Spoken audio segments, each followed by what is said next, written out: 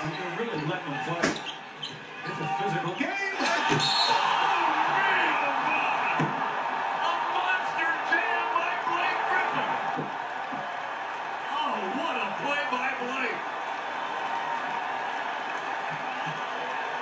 The fans can hardly believe what they just saw. Is it possible to top what he did last year? To, to top. Look at that play. That's perfect. Oh, my goodness. They show it again on the big screen here. The fans are standing in utter awe and admiration. I you Andy Bernstein got that photo, Ralph. I bet he did too.